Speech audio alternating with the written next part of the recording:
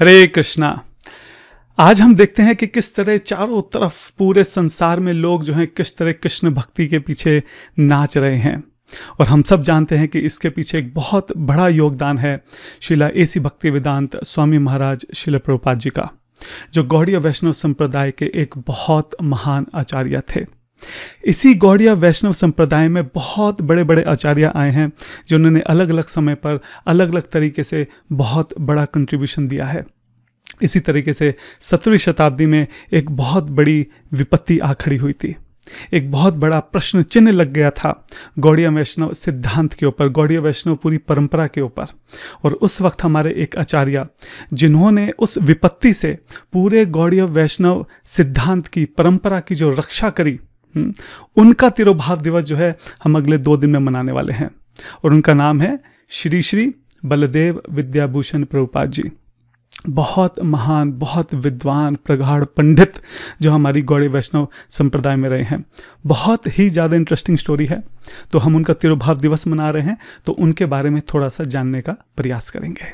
अब ये बात भी सही है कि मेरे जैसे अधम, अज्ञानी नितांत भक्तिहीन, बुद्धिहीन, मायाबद्ध, जीव की ऐसी योग्यता नहीं है कि वो इतने महान आचार्य का नाम भी अपने मुँह से उच्चारण कर सके। उनके महान चरित्र के व्यक्तित्व के बारे में वर्णन करना तो बहुत दूर की बात है। ये बिल्कुल ऐसा है जैसे कोई छोटी सी चिड़िया अपनी छोटी सी चोंच में जो है पूरा समुद्र भरने का प्रयास कर रही हो। लेकिन हम जानते हैं कि शिल प्रभुपाद जी ने ही हमको सिखाया है कि जब हम ऐसे महान चरित्र के बारे में, ऐसी महान विभूति के बारे में जब हम बात करते हैं, चर्चा करते हैं, उनका स्मरण करते हैं, उनका श्रवण करते हैं तो हमारे हृदय का शुद्धिकरण होता है। केवल इसी भाव को मन में रखते हुए मैं प्रणाम करता हूँ। हमारे जितने भी आचार्य रहे हैं और उनसे आशीर्वाद लेता हूँ ताकि उनके बारे में मैं थोड़ा सा कुछ जो अपने वरिष्ठ भक्तों के मुँह से सुना है, जो भी उनके बारे में पढ़ा है, उसको तोते की तरह बहुत सावधानीपूर्वक धीरे धीरे दोहरा सकूँ। ओम अज्ञानम तिमिरंदश्य ज्ञानंजन शलाकया चक्षुरुन्मिलितं येन तस्मै श्रीगुरुवे नमः।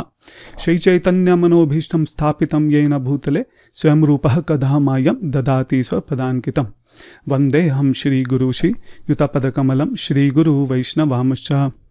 श्रीरूपं साग्रजातं सहगना रघुनाथं वितं तं सजीवं साद्वैत सावधूतं, परिजनसहितं, कृष्णचैतन्यदेवं, श्रीराधाकृष्णपादां सहगना ललिता श्रीवेशाखान्वितांश्च हे कृष्ण करुणा सिंधु, दीन बंधु जगतपते, गोपीश गोपिका कांता, राधा कांता नमस्तते। तप्त कांचन गौरांगी, राधे वृंदावनेश्वरी, विष्णु भानु सुते देवी, प्रणमामि हरिप्रिय। वंचकल्पतरुभ्य कृपा सिंधु भैवच, पतिता नाम पावनेभ्यो, वैष्णवेभ्यो नमो नमः। जय श्री कृष्ण चैतन्य, प्रभु नित्यानंदा श्री अद्वैता, गदाधर, शिवशादी, गौर भक्तविंदा। हरे कृष्ण हरे कृष्ण कृष्ण कृष्ण, हरे हरे। हरे राम हरे राम राम राम, हरे हरे। शिल प्रभुपाद जी की जय हो। तो बलदेव विद्याभूषण जी का जन्म जो है, वो 1678 में उड़ीसा के एक छोटे से गाँव में एक बहुत बड़े ब्राह्मण परिवार में उनका जन्म हुआ था। उनके माता पिता के बारे में, बचपन के बारे में बहुत ज़्यादा हमको नहीं पता है। लेकिन हाँ इतना ज़रूर मेंशन है कि जो बचपन से उनको पढ़ाई का बहुत शौक था। तो जो व्याकरण है, न्याय है, अलंकार है, जहाँ सारे बच्चे खेल कूद में लगे रहते थे, वो शास्त्रों को पढ़ने में जो है उनका बहुत ध्यान रहता था। धीरे धीरे बड़े हुए तो उसके बाद उनकी इच्छा थी कि मैं और पढ़ाई करूँ, इनसे उनकी जो पढ़ने की प्यास थी, वो नहीं बुझ पा रही थी। तो वो माधवा संप्रदाय में चले गए। और वहाँ जाके उन्होंने वेदांत को, सारे वेदों को, उपनिषदों को, पुराणों को बहुत अच्छे से पढ़ा। और क्योंकि बचपन से ही बहुत तेज़ थे पढ़ाई में, दिमाग बहुत तेज़ था, तर्क वितर्क में बहुत आगे थे तो धीरे धीरे धीरे धीरे वहाँ पे बहुत बड़े विद्वान बन गए। वहीं पे उन्होंने संन्यास लिया। उसके बाद उनकी इच्छा हुई कि ये जो भगवान कृष्ण की भक्ति है इसको पूरे भारत में जो है इसका प्रचार किया जाए।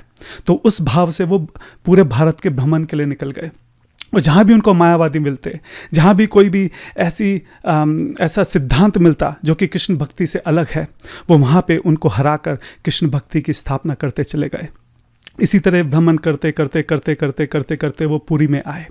पूरी में आने के बाद भी वहाँ बड़े बड़े विद्वानों को जो है उन्होंने तर्क से वितर्क से शास्त्र के प्रमाणों से उन सबको हराते चले गए। बाद में उनका सामना हुआ राधा दामोदर जी से राजशिला राधा दामोदर गोस्वामी से, जो कि हमारे गौड़िया वैष्णव सिद्धांत के एक बहुत बड़े आचार्य थे।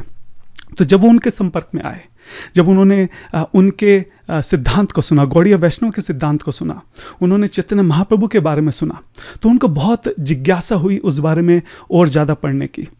फिर उन्होंने गौड़िया वैष्णव सिद्धांत की सारी किताबें पढ़नी शुरू करी। जीवा गोस्वामी के शब्द संदर्भा को उन्होंने पढ़ना शुरू किया। राधा दामोदर जी का संग तो उनको साथ में मिल ही रहा था। तो धीरे धीरे उनके मन में जो है चैतन्य महाप्रभु के लिए बहुत ज़्यादा आकर्षण उत्पन्न हो गया। धीरे धीरे जो है वो राधा दामोदर जी के शरण में आ गए। उन्होंने बोला कि जो चेतन महाप्रभु का सिद्धांत है, मैं उससे बहुत आकर्षित हूँ और ये अभी तक मैंने जितना भी कुछ पढ़ा है, ये सबसे ऊँचा सिद्धांत है। जो अचिंत्य भेदा भेद सिद्धांत है, उसके प्रति उनका बहुत आकर्षण हो गया। उन्होंने राधा दामोदर जी से बोला कि मैं आपका शिष्य बनना चाहता हूँ, आपको अपने गुरु के रूप में अपनाना चाहता हूँ। तो राधा दामोदर जी ने उनसे बोला कि क्योंकि आप ऑलरेडी दीक्षित हैं, जब एक बार दीक्षा हो जाती है तो दोबारा दीक्षा नहीं ले सकते। अगर एक बार चार संप्रदाय में किसी भी वैष्णव गुरु से अगर दीक्षा हो गई तो दोबारा दीक्षा लेना जो है, वो ठीक नहीं है। तो राधा दामोदर जी ने उनको बोला, क्योंकि आपकी दीक्षा ऑलरेडी एक प्रमाणिक गौड़िया वैष्णव परंपरा में हुई है तो दोबारा दीक्षा लेने की ज़रूरत नहीं है। लेकिन बलदेव विद्याभूषण ने जैसे गौड़िया वैष्णव सिद्धांत को अपना लिया है, वो इस बात को पूरे जगत को बताना चाहते थे। तो इसके लिए उन्होंने एक बहुत बड़ा एक फेस्टिवल जो है वो ऑर्गेनाइज किया। और वहाँ पे बहुत फॉर्मली जो है, जो बलदेव विद्याभूषण जी हैं, उन्होंने गौड़िया वैष्णव सिद्धांत के, जो रास्ता है, जो उसकी परंपरा है, उसको वहाँ पर उन्होंने अपनाया अपनाया। अच्छा देखने वाली बात है कि राधा दामोदर गोस्वामी कौन थे? ऐसे कैसे आचार्य थे कि इतने बड़े प्रगाढ़, विद्वान पंडित बलदेव विद्याभूषण जिन्होंने पूरे भारत में भ्रमण करके सबको जो है अपने तर्क वितर्क से, अपनी विद्वत्ता से, अपने शास्त्रिक प्रमाणिक शास्त्रों के प्रमाण से जो जिन्होंने हरा दिया, वो इनकी शरण में आ गए। हाँ तो हम जानते हैं कि चैतन्य महाप्रभु हैं। चेतन महाप्रभु के एक डिसाइपल थे शिला गौरीदास पंडित। गौरीदास पंडित जी के एक डिसाइपल थे, शिला हृदय चैतन्य दास अधिकारी। उनके डिसाइपल थे शिला श्यामानंद प्रभु जी। श्यामानंद प्रभु जी के डिसाइपल थे रसिकानंद प्रभु जी रसिकानंद प्रभु जी के डिसाइपल थे नयानंद प्रभु जी नयानंद प्रभु जी के ये डिसाइपल थे राधा गोविंद, राधा दामोदर प्रभु जी इतने सारे नाम हैं, अगर आप इनको याद करना चाहते हैं तो मैं एक एक लाइन सबके बारे में बोलता हूँ ताकि आपको याद हो सके। जो गौरीदास पंडित थे, आप लगाओ, वो इतने महान आचार्य थे या कह लो कि इतने रसिक संत थे कि जो उनकी निताई गोरंगा की जो डिटीज थी वो स्वयं चैतन्य महाप्रभु ने अपने हाथ से कार्व करके उनको दी थी और वो उनके साथ छुपन छुपाई खेलते थे। मतलब लिटरली जो डीटीज हैं, जो विग्रह हैं, वो छुप जाते थे और फिर ये जाके उनको ढूंढते थे। कभी ये छुप जाते थे तो विग्रह इनको ढूँढने आते थे। ऐसे थे गौरीदास पंडित। यही जो विग्रह हैं, वो एक बार जाके उनके एक डिसाइपल जो छोटे से बच्चे थे, उनके हृदय में जाके छुप गए थे। जब चारों तरफ़ ढूंढ रहे थे, उनको मिल नहीं रहे थे, बाद में पता चला कि उनके हृदय में छुपे हुए हैं। इसलिए उन डिसाइपल का नाम पड़ गया हृदय चैतन्य प्रभु इन हृदय चैतन्य के जो डिसाइपल थे, वो थे श्यामानंद प्रभु। श्यामानंद प्रभु कितने बड़े आचार्य रहे स्वयं राधा रानी ने उनको दर्शन दिए थे। स्वयं राधा रानी ने अपने हृदय से जो है श्याम सुंदर के जो विग्रह हैं, वो प्रकट करके उनको दिए थे, जो आज भी वृंदावन में विराजमान है। तो वो श्यामानंद प्रभु थे। उनके शिष्य थे रसिकानंद प्रभु। रसिकानंद प्रभु, आप इस तरह से याद रखो कि रसिकानंद प्रभु ने इतना प्रचार किया श्यामानंद प्रभु जी के साथ मिलके, और बाद में वो जो महाप्रभु हैं, उनके विग्रह में समा गए थे। उनका पूरा शरीर। इतने महान आचार्य थे। इसी तरह उसी परंपरा में आगे आए नयानंद प्रभु जी गोस्वामी। उनके जो शिष्य थे, वो थे राधा दामोदर गोस्वामी। बहुत महान आचार्य थे।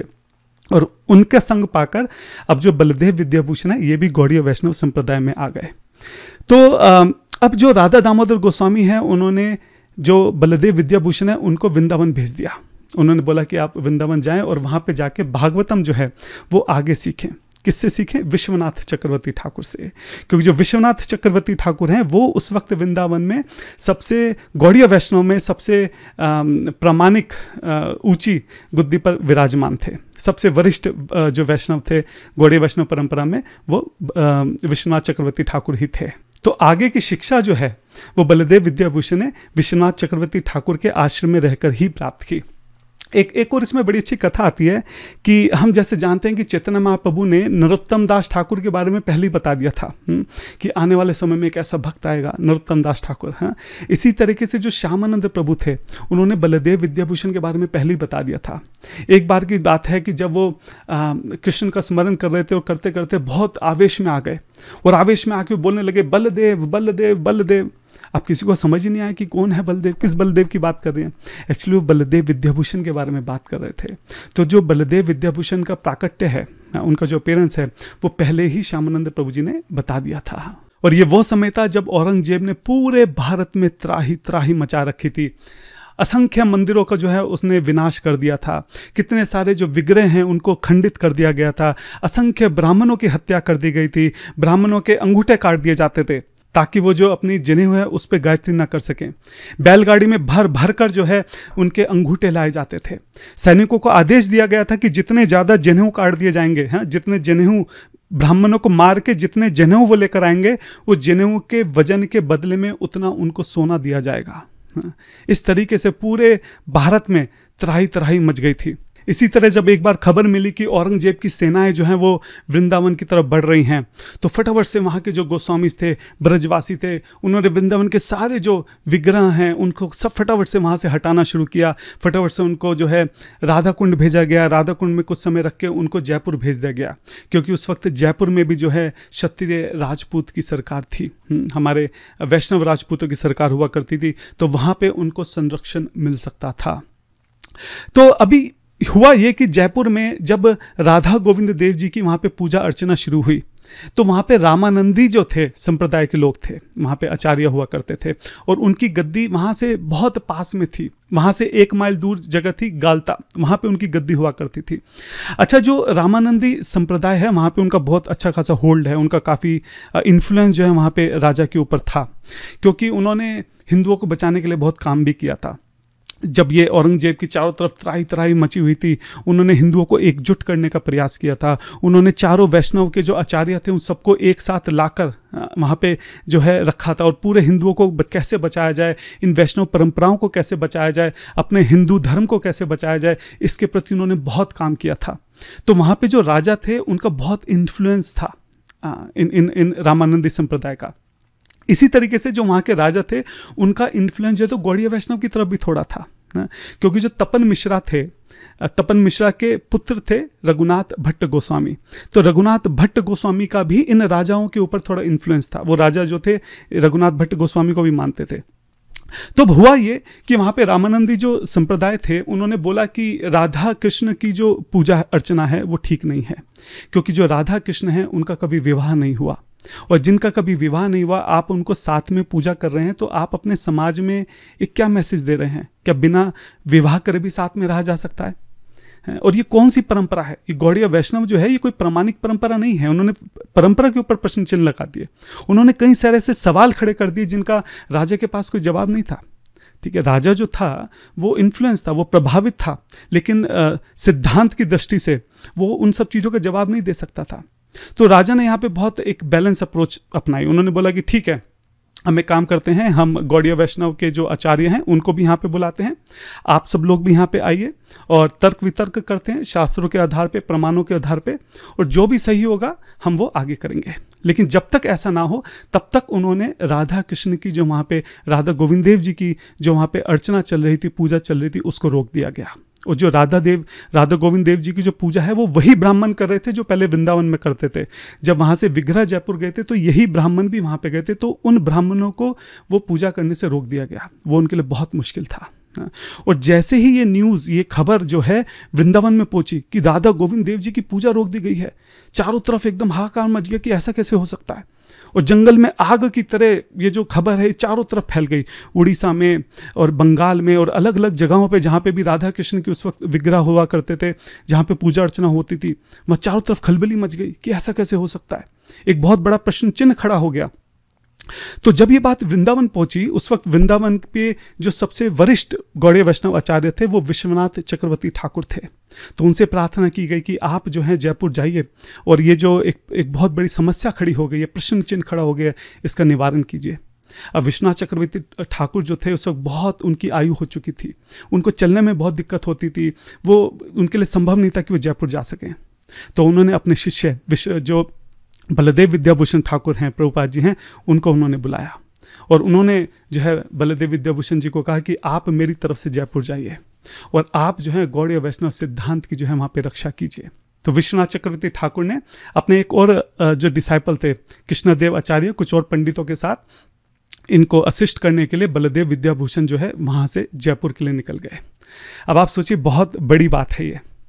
जब बलदेव विद्याभूषण जयपुर पहुँचे तो वहाँ पे उनका स्वागत किया गया क्योंकि पूरी गौड़ीय वैष्णव संप्रदाय को जो है वो एक तरह से रिप्रेजेंट कर रहे हैं। और वहाँ पे विचार सभा बुलाई गई ठीक है? अब आप अब सोचिए कि क्या सीन चल रहा है। एक बहुत बड़ा राज्य है हम्म, एक बहुत बड़ी राज्य सभा है। वहाँ पे स्वयं जो जयपुर के राजा हैं वो विराजमान है। उस राज्यसभा में बड़े बड़े मंत्रीगण हैं बड़े बड़े सदस्य हैं वरिष्ठ नागरिक हाँ, उनके जो सेनापति हैं, पूरी राज्यसभा खचाखच भरी हुई है। और उसी राज्यसभा में जो चार वैष्णव संप्रदाय हैं, उन सब के प्रगाढ़, विद्वान, पंडित जो हैं, आचार्य जो हैं, पूरी उनकी टोली जो है, वो वहाँ पर बैठी है।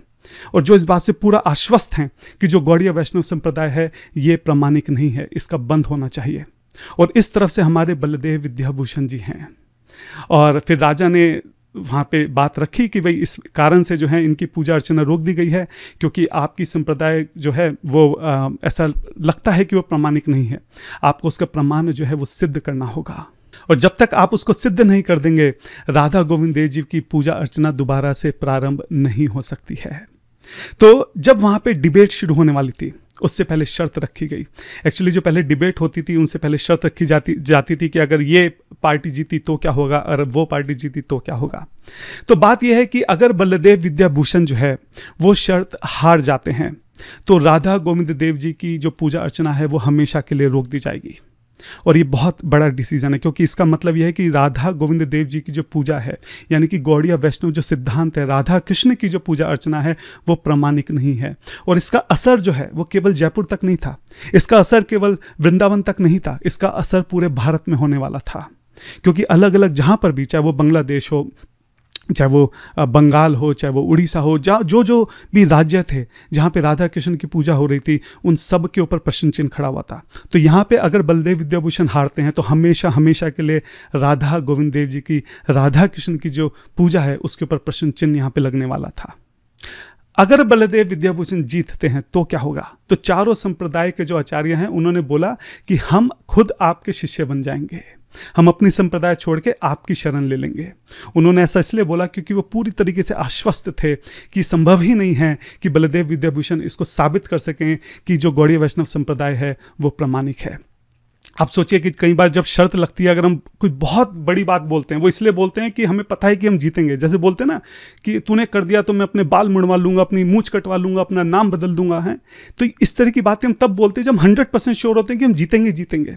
इसी तरीके से जो वहाँ पर चारों संप्रदाय के जो पंडित थे, उन्होंने बात बोली कि अगर तुम जीत गए तो हम तुम्हारे शिष्य बन जाएँगे। ये बहुत बड़ी बात है वहाँ पर बोल देना। और इन शर्तों के साथ जो है वहाँ पर डिबेट शुरू होती है। उसके बाद वहाँ पे चार अलग अलग वैष्णव संप्रदाय के जो वो पंडित थे, विद्वान थे, उनके साथ हमारे जो बलदेव विद्याभूषण जी हैं, उनका तर्क वितर्क जो है वो स्टार्ट होता है, प्रारंभ होता है। शास्त्रों से प्रमाण दिए जाते हैं, दोनों तरफ़ से अलग अलग प्रमाण दिए जाते हैं और धीरे धीरे बलदेव विद्याभूषण एक के बाद एक एक के बाद एक ऐसे प्रमाण देते हैं जिनका कोई काट जो है उनके पास नहीं होता है। धीरे धीरे उनके पाँव उखड़ने लगते हैं, उन्हें समझ नहीं आता कि क्या चल रहा है। फिर चारों, फिर पूरी ताकत से अपनी अलग अलग तरीके से वहाँ पर जो तर्क वितर्क रखते हैं और बलदेव विद्याभूषण एक एक करके उनके सारे जो भी वो प्रमाण देते हैं, जो भी वो तर्क देते हैं, उनका लगातार उनके खंडन करते चले जाते हैं। धीरे धीरे उनको समझ में आ जाता है कि बलदेव विद्याभूषण से जीतना संभव नहीं है। तो अंत में वो एक ऐसा तीर छोड़ते हैं। बेसिकली वो बोलते हैं कि ठीक है, आपने जो बोला वो ठीक है, लेकिन आप ये बताइए कि आपका वेदांत सूत्र पर भाष्य कहाँ है? ऐसा होता है कि जो प्रमाणिक परंपरा होती हैं हाँ उनका वेदांत सूत्र के ऊपर भाष्य होना ज़रूरी है, टीका होना ज़रूरी है, भगवत गीता के ऊपर, वेदांत सूत्र के ऊपर और उपनिषद के ऊपर, इन तीनों चीज़ों के ऊपर श्रुति, स्मृति और न्याय बेसिकली तीन कैटेगरी तीनों के ऊपर भाष्य होना ज़रूरी है कमेंट्री होना ज़रूरी है। तो बलदेव विद्याभूषण ने उनको बताया कि चैतन्य महाप्रभु ने श्रीमद भागवतम को ही वेदांत सूत्र का जो है, टीका घोषित किया है, कि जो वेदांत सूत्र की कमेंट्री है, वो नेचुरल जो है, वो श्रीमद भागवतम है, उसकी अलग से कमेंट्री लिखने की, टीका लिखने की ज़रूरत नहीं है। तो उन्होंने इसका तर्क ये दिया कि जो श्रीमद भागवतम है, वो तो चेतन महाप्रभु से भी पहले की है। और जो श्रीमद् भागवतम है, वो तो चारों संप्रदाय की किताब है, वो आपकी अकेली किताब नहीं है। आपकी अगर संप्रदाय को आप यहाँ पे प्रमाणिक बताना चाहते हैं तो आपका खुद का यहाँ पे टीका होना चाहिए। यही पुरानी परंपरा चली आ रही है। अगर आपका टीका नहीं है तो आप इसके लिए मान्य नहीं रहेंगे। तो बलदेव विद्याभूषण समझ गए कि मानेंगे नहीं, क्योंकि इनको एक पॉइंट मिल गया है, उसको पकड़ के बैठ गए हैं, और जब तक वो टीका नहीं लिखेंगे, वो उसको गौड़ी वैष्णव को एक प्रमाणिक परंपरा घोषित नहीं करेंगे। अब जो वेदांत सूत्र के ऊपर टीका लिखना है, वो हल्की बात नहीं है, वो बहुत मुश्किल काम है। भगवत गीता है, वेदांत सूत्र हैं और उपनिषद हैं। टीका लिख, लिखा जा सकता है, लेकिन उसके लिए बहुत समय चाहिए। जो बड़े बड़े पंडित विद्वान होते हैं, उनको कई कई साल लग जाते हैं टीका लिखने के लिए। यहाँ पे कैसे होगा? यहाँ तो अभी इमीडिएट आपको बताने कि आपका टीका कहाँ है। तो बलदेव विद्याभूषण ने उनसे कहा कि ठीक है, आप मुझे थोड़ा सा समय दीजिए, कुछ दिन का समय दीजिए, मैं इसका टीका लिख के लेके आता हूँ। तो उनको लगा कि ठीक है, दे देते हैं समय। कुछ दिन के अंदर तो वैसे भी लिख नहीं सकते हैं, संभव ही नहीं है लिख पाना, ठीक है? तो उन्होंने बोला, ठीक है, आप लेके आइए, जाइए, उनको पता है, कोई ला ही नहीं सकता, कुछ दिन का खेल थोड़ी ना, ये तो सालों का काम है। तो बलदेव विद्याभूषण जी वहाँ से आ जाते हैं। लेकिन बलदेव विद्याभूषण जी उसके बाद बहुत चिंतित हो जाते हैं, क्योंकि वो जानते थे कि वो जो बात वहाँ पर बोल के आए हैं, वो संभव नहीं है। तो वो राधा गोविंद देव जी के पास जाते हैं गोविंद देव जी के सर के, उनके चरणों में अपना सर रख देते हैं। उनसे प्रार्थना करते हैं कि अब मार्गदर्शन कीजिए। ये संभव नहीं है। जो मैं वहाँ पे बोल के आया हूँ, ये बहुत मुश्किल, बहुत कठिन कार्य है। तो ये जब उनके चरणों पे सर रखते हैं तो उनको किसी तरह से वहाँ पे नींद आ जाती है। और उनके सपने में फिर राधा गोविंद देव जी आते हैं। वो उनको आशीर्वाद देते हैं। वो बोलते हैं कि तुम लिखो। मैं बोलता हूँ, तुम लिखो। और बलदेव विद्याभूषण जी, उसके बाद वहाँ पे टीका लिखना स्टार्ट करते हैं। और कई दिनों तक बिना खाए, बिना सोए, बिना किसी चीज़ की परवाह किए कंटिन्यूस वहाँ पे लिखते रहते हैं, लिखते रहते हैं, लिखते रहते हैं, लिखते रहते हैं। और कुछ दिनों के बाद वो इन तीनों चीज़ों के ऊपर भगवत गीता के ऊपर वेदांत सूत्र के ऊपर और ईशोपनिषद के ऊपर, इन तीनों के ऊपर जो टीका लिखकर वापस उस राज्यसभा में पहुँचे जाते हैं। तो वहाँ पहुंचकर बाकी जो संप्रदाय के आचार्य हैं, वो उनको दिखाते हैं कि उन्होंने श्रुति के ऊपर, गोपाल तापनी उपनिषद के ऊपर उन्होंने टीका लिख दिया था, स्मृति के ऊपर उन्होंने गीता भूषण भाष्य उन्होंने लिख दिया था, और न्याय में जो है वेदांत सूत्र के ऊपर उन्होंने गोविंद भाष्य लिखा था। जनरली जब वेदांत सूत्र के ऊपर कोई टीका लिखता है तो वो अपने नाम से लिखता है कि मेरा भाष्य है। लेकिन यहाँ पे क्या? यहाँ पे गोविंद देव जी ने बोला था और वो लिख रहे थे। तो इसलिए उन्होंने उनका नाम दे दिया, गोविंद भाष्य और जब गोविंद भाष्य को देखा गया तो उसमें किस तरीके से वेदों से, पुराणों से, महापुराणों से, उपनिषदों से, और भागवतम से, और अलग अलग इतिहास से, इस तरह के एक के बाद एक एक के बाद एक ऐसे प्रमाण थे कि किसी को, उनको काटने का कोई मौका नहीं मिला। संभव कुछ कुछ वहाँ पे संभव ही नहीं था कि जो उन्होंने वहाँ पे तर्क रखे थे उसको किसी भी तरीके से काटा जा सके। तो वहाँ पे जो चारों संप्रदाय के आचार्य थे, उन्होंने फाइनली जो है वहाँ पे अपनी हार स्वीकार की। उसके बाद उस राज्यसभा में जितने भी बड़े बड़े मंत्रीगण थे, वरिष्ठ नागरिक थे बड़े बड़े पंडित थे, विद्वान थे, स्वयं राजा जो थे, सब लोगों ने वहाँ पे खड़े होकर बलदेव विद्याभूषण को प्रणाम किया, उनकी सराहना की। और बलदेव विद्याभूषण की इस विद्वत्ता को देख के, इस पांडित्य को देख के, जो वहाँ के राजा हैं, उन्होंने ही बलदेव को विद्याभूषण की उपाधि दी थी। जो हम बोलते हैं बलदेव विद्याभूषण, ये जो विद्याभूषण की उपाधि है ये वहाँ के राजा ने ही बलदेव जी को दी थी। उसके बाद जो, जैसी ये खबर है, ये चारों दिशाओं में आग की तरह फैल जाती है। वृंदावन पहुँचती है, बंगाल, उड़ीसा अलग अलग राज्यों तक ये खबर जो है एकदम पहुँच जाती है और वहाँ के लोग खूब जो है खुशी से नाच उठते हैं। वहाँ पे जो है फेस्टिवल मनाया जाता है, लोग मिठाइयाँ बांटते हैं, नाचते हैं, गाते हैं कि आज गौड़िया वैष्णव संप्रदाय जो है उसकी रक्षा हो गई, उसके जो रक्षक हैं वो शिला बलदेव विद्याभूषण जी थे। और उसके बाद ये जो चारों संप्रदाय के जो आचार्य थे ये बलदेव विद्याभूषण जी के पास आते हैं। उनके सामने हाथ जोड़कर अपनी हार को स्वीकार करते हैं और बोलते हैं कि हम आ, क्योंकि हम हार गए हैं और हार का नियम ये था जो डिबेट से शुरू में बनाया गया था कि जो भी हारेगा वो आपका शिष्य बनेगा। तो हम चारों यहाँ पे आपका शिष्य जो हैं वो बनने के लिए तैयार हैं। यहाँ पे जो बलदेव विद्याभूषण जी हैं, उन्होंने अपने उदार हृदय का जो है यहाँ पे परिचय दिया। उन्होंने बोला कि आपको, आप ऑलरेडी जो है एक प्रमाणिक संप्रदाय के आचार्य हैं। आपको मेरे शिष्य बनने की ज़रूरत नहीं है। आप अपने, अपनी संप्रदाय में रहिए और अपने, अपनी संप्रदाय का ही जो है प्रचार कीजिए। हाँ। लेकिन अपनी जीत के उपलक्ष्य में उन्होंने ये बात ज़रूर रखी कि अगर यहाँ पे जो है विजय गोपाल जी की जो राधा कृष्ण के स्वरूप हैं, अगर उनकी पूजा अर्चना सबसे पहले की जाएगी तो उनको प्रसन्नता होगी। पहले उनकी पूजा हो, उसके बाद नारायण की जो बाकी जो विग्रह हैं, उनकी पूजा हो। तो चारों संप्रदाय के जो आचार्य थे, उन्होंने इस बात को स्वीकार किया। और आज भी ऐसे ही है कि जयपुर में जो सबसे पहले पूजा की जाती है, अर्चना की जाती है, आरती करी जाती है, वो विजय गोपाल जी की की जाती है। और फिर इस तरीके से अपनी जीत का विजय पताका जो है, वो लहराते हुए जो हमारे बलदेव विद्याभूषण जी हैं, वो वृंदावन में वापस लौटते हैं।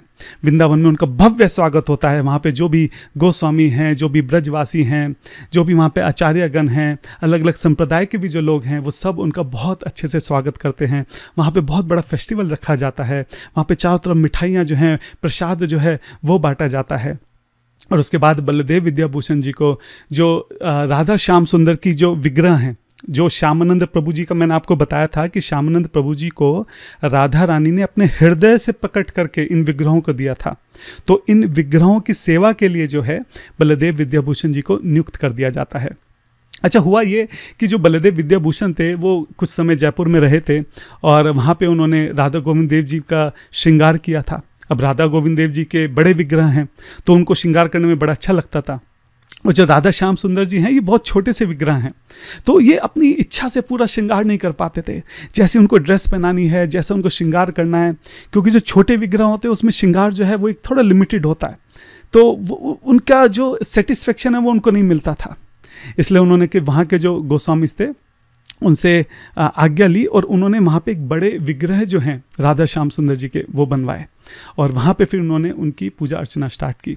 और जो राधा श्याम सुंदर मंदिर है, वहीं पर रहकर उन्होंने बहुत सारे ग्रंथों की जो है रचना की। मैं थोड़े दिन पहले पढ़ रहा था, लगभग 21 ग्रंथ अभी भी ऐसे हैं जो उनके द्वारा लिखे गए हैं और अभी भी वो अवेलेबल हैं। और ऐसा करते करते नब्बे की आयु में 1768 में उन्होंने जो है भगवान के, भगवान श्री कृष्ण की नित्य लीला में जो है उन्होंने प्रविष्ट कर लिया। उनकी समाधि जो है वो अभी भी राधा श्याम सुंदर जी के मंदिर के वहीं बराबर में एक जगह है, वहाँ पे उनकी समाधि बनाई गई है। अगर आप कभी राधा श्याम सुंदर मंदिर में जाएँगे तो वहाँ पे गुफा है, नीचे जाके एक रास्ता जाता है। उस गुफा में जो श्यामानंद प्रभु हैं वो भजन करा करते थे।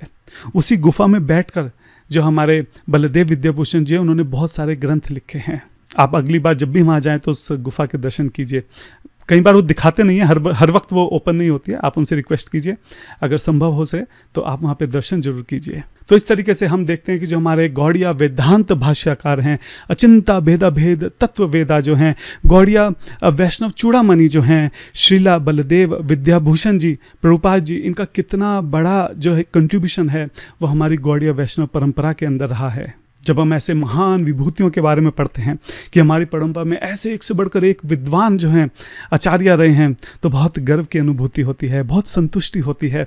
बड़ा कॉन्फिडेंस आता है कि हमारा जो सिद्धांत है, वो कितना प्रमाणिक है कितना शास्त्रों के ऊपर, वेदों के ऊपर, पुराणों के ऊपर, उपनिषदों के ऊपर बेस्ड है। हमारी संप्रदाय में कैसे कैसे विद्वान, पंडित, प्रगाढ़ पंडित जो हैं, वो हमारे संप्रदाय में रहे हैं। तो हम यहाँ पे जो है आज के दिन बलदेव विद्याभूषण जी के श्री चरणों में अपना सर रखकर उनसे बार बार प्रार्थना करते हैं कि हम भी जो इस गौड़े वैष्णव का सिद्धांत है, उसको ठीक से समझ पाएँ, उसको रियलाइज़ कर पाएँ और श्री निताई गौरंगा जो हैं चैतन्य महाप्रभु हैं, राधा कृष्ण हैं, उनकी भक्ति में भी हम जो है धीरे धीरे आगे बढ़ पाएँ। अंत में आप सभी वैष्णवों के श्री चरणों में सर रखकर मैं प्रार्थना करता हूँ कि मेरे बोलने में जो भी त्रुटि रह गई हो, आप कृपया करके उसको मुझे माफ़ कर दीजिए और जो बात का सार है, उसको पकड़ने का प्रयास कीजिए। श्री श्री बलदेव विद्याभूषण प्रभुपाद जी की जय हो। शील प्रभुपाद जी की जय हो। गौर पे मनंदे हरी हरी बोल। हरे कृष्णा।